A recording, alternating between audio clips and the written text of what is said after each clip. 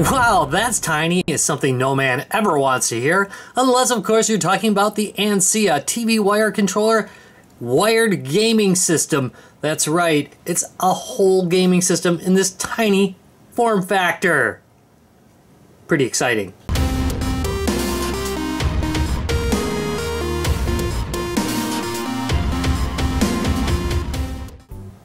I picked this one up on Amazon just kind of randomly. It showed up as a suggested item. I had never seen anything like it before, and I thought, yeah, I gotta show everybody this guy. So let's start looking at it with the box. This, my friends, is the front of the box ANSIA TV wire controller. It's the best choice. Here is the right side of the box. Features D-pad up, down, left, right, 45 degree angle, 6 functional buttons, A, B, select, start, special function, menu button. TA button is the accelerate function of A button. Press TA button, the button of function. Will running fire. TB button is the accelerate function of B button. Press TB button, the button B will function will running fire. Wow. Here's the left side of the box. Looks like there's some games on it. Made in China. Here is the top of the box for use with plug and play console. Controller. Um, this is the game system, so this is kind of confusing packaging. Here's the bottom of the box. Boo. The back of the box is just a whole bunch of pictures of games that we expect to see within this game system. Can't wait. Let's open this bad boy up. Booyah.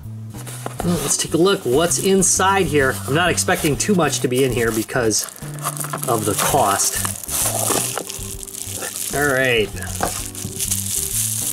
Game system, and it does appear to have a manual. it's an instruction sheet. All right, let's take a look at the manual, well, instruction sheet. TV wire controller instruction.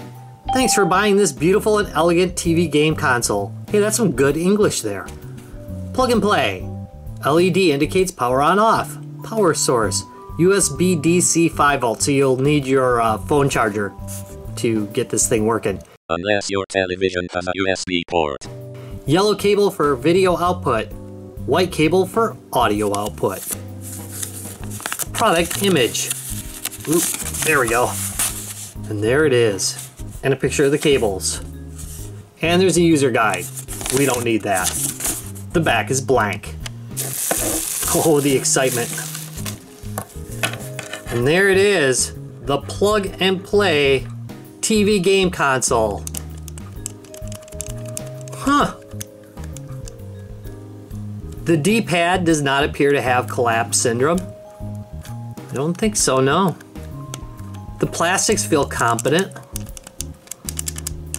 The buttons are not bad. The start, select, and menu buttons are all rubberized, which I really, really like. Huh, better construction quality than I was expecting. Let's look at the cable. The cables are made out of pretty decent, not cheap materials. The plastics are good on these cables and they're fairly thick. Also, if you look at the heads of the RCA jacks, they're pretty decent too. They're not thin or cheap. USB looks like it's not gonna fall apart. Uh, there's probably not enough separation between these for me. It might be hard on some televisions because the USB port might be further away from the AV ports than you'd like, but look at this. It goes into a protective cover so that you don't accidentally keep tearing these away from each other. I'll be darned. That's really nice. Well, let's plug it in and play it.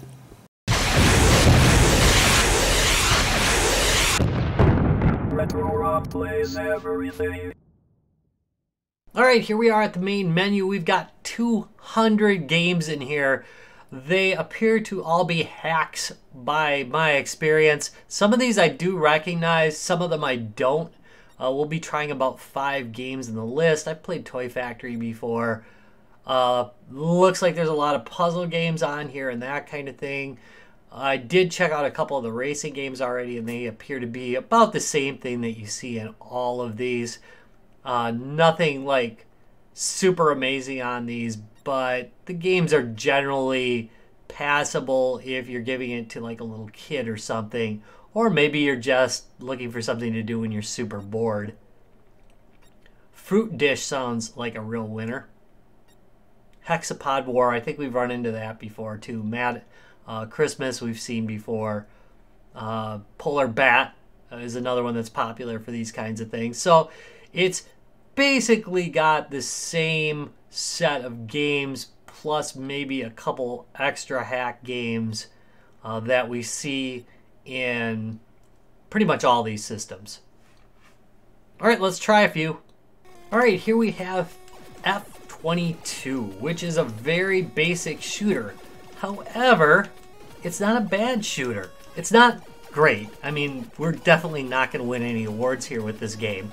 However, the controls work really well on it, and that is due to the fact that this is actually a competent controller. In fact, it's much better uh, than some of the fake NES controllers I've seen made for the PC.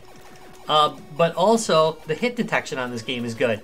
It's, again, nothing special. It's not awesome. I think there's not enough. Uh, not enough frequency with the pickups to keep you super interested, but for a kid, this might not be bad, and it's not going to make them cry because it's actually fairly decent. Hmm, not bad. All right, so who fancies a little blackjack? Yes, there is a plethora of card games here, and the basics are all represented. Things like poker are here, and of course, uh, blackjack. So just play a quick round. Uh, 14, I'm gonna hit on that, and I busted. Bummer. Let's try one more.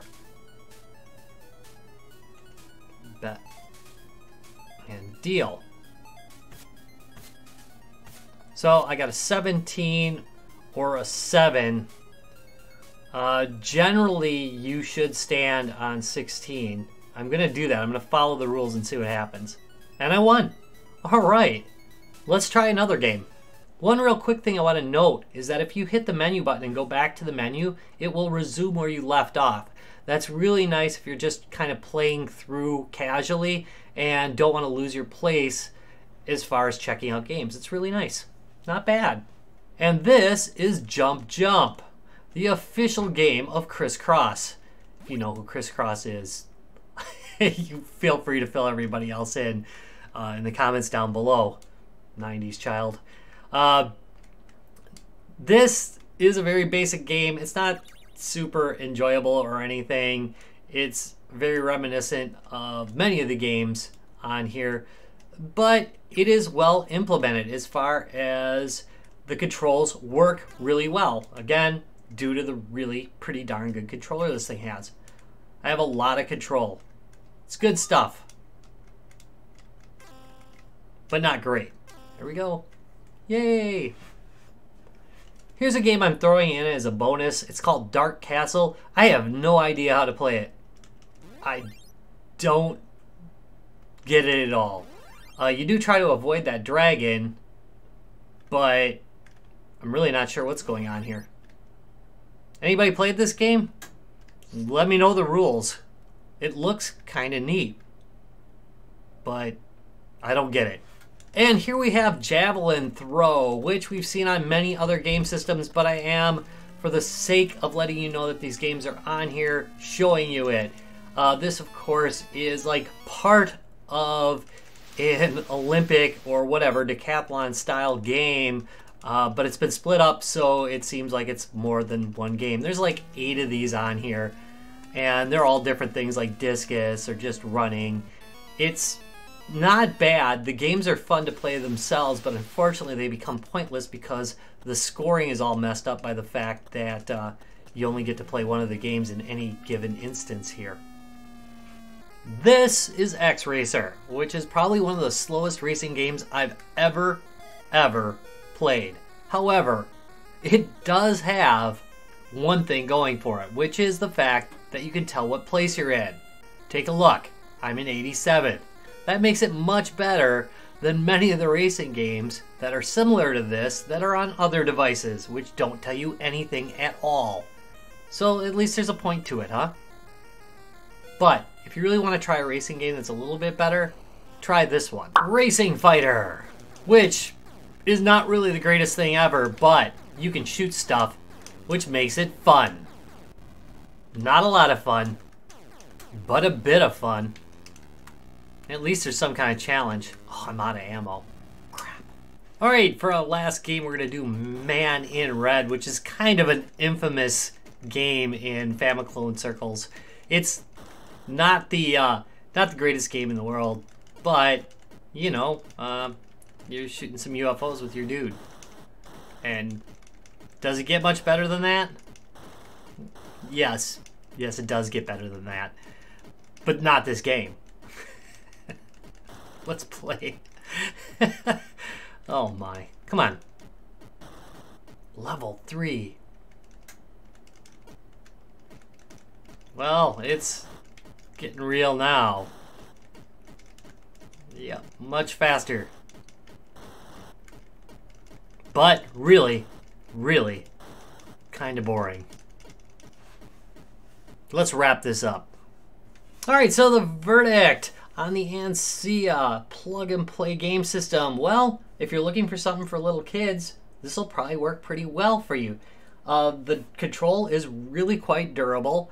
It doesn't use any batteries, so you don't have to worry about them maybe swallowing a battery or anything. It has a long enough cord to play with. Phrasing. It's really not bad. Yeah, the games are super basic, but for kids, that's not necessarily a bad thing. So, for its intended purpose, I'm going to give it a thumbs up. It's really one of the better ones of this kind of game system I've played with. Not bad. Alright, thank you very much for watching this. If you enjoyed it, give me a thumbs up and subscribe for more. And I will see you in a couple days. Bye.